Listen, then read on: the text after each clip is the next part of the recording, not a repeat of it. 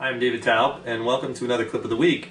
And today I'm going to show you another way to spice up your minor pentatonic and blues scales um, just by adding another note to the scale. I get a lot of questions about how can I take minor pentatonic and do more with it. Um, remember your minor pentatonic scale is just five notes from the natural minor scale. If you add the blue note, you add the flat five, and it becomes a six note scale. Um, I'll show you in A, in the key of A, A minor. So the notes are A, C, D, E flat, there's the blue note, E, and G.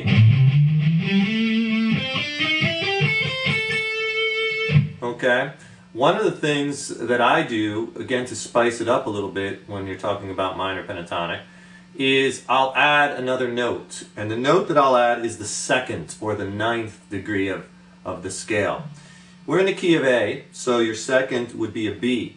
So I add that B note, and it always, uh, most of the time, it works great because that note is also in the uh, natural minor or Aeolian mode or natural minor scale, the second, or it's also in uh, the Dorian mode. So it works most uh, times you're playing in, in minor key.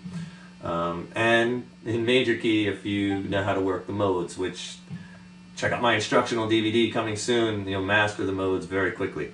Um, I digress. Anyway, um, so if you're just playing some minor pentatonic stuff and you want to add a, a, cool sounding note, add that nine.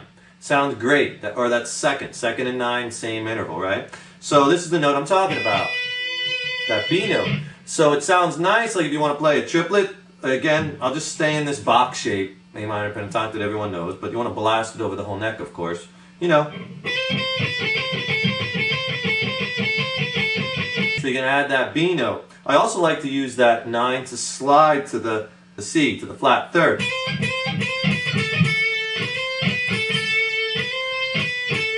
It's a nice note to slide off of, and it's also a nice note to bend. I'll bend the B to the C.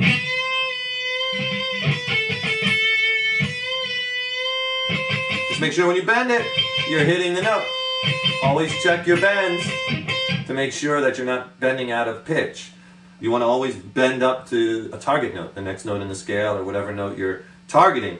But just don't bend notes indiscriminately. You have to have a target note in mind. Here I'm bending the B or the, the, the second or nine to the flat third. And that's a really nice bend. So that's a great extra note to add to this. You know, if you're jamming in minor pentatonic,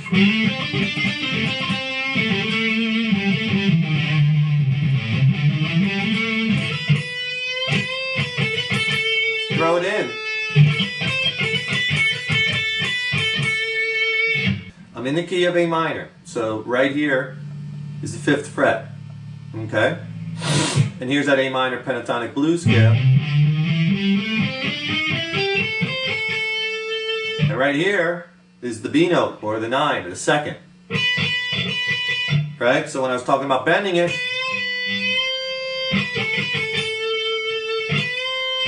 See, I'm bending to the C. And notice my bend. Every time it's perfect. I always hit that note I'm targeting to bend.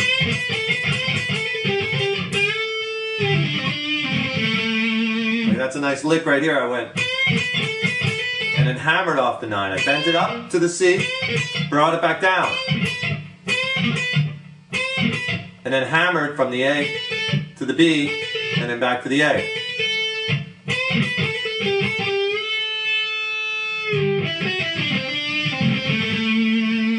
up to the A note. So this nine, I do that a lot. I slide, or you hear guys like Carlos Santana does that a lot. He'll use this this nine to the second. Eric Johnson uses a lot too. And they'll use it. It really spices up this minor pentatonic scale. You'll hear that all day from Carlos Santana. I'm just doing a turn the rhythm around.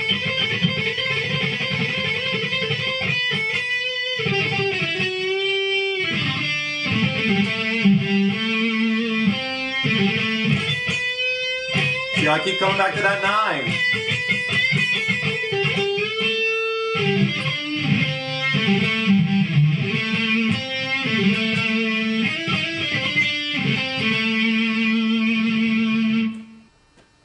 So I hope you like that little way to spice up the minor pentatonic scale with the adding the second or the ninth degree. Um, use it, you'll love it. It's a great note to play off and um, always pretty much works. Um, practice that and remember when you're bending, bend in pitch. Always check your bends. That's a lot of things my students, when they first come to me, I get them doing very quickly. When you're bending out of pitch, it sounds horrible. And you're not going to sound in tune with the band. You all, and you just don't bend indiscriminately. You always have a target note in mind, whether you're bending up a half a step, a whole step, a minor third, which is a step and a half, um, whatever. You're, you always want to have that target note. So use this ninth and spice that minor pentatonic up. Practice, practice, and I will see you in the next lesson. Take care.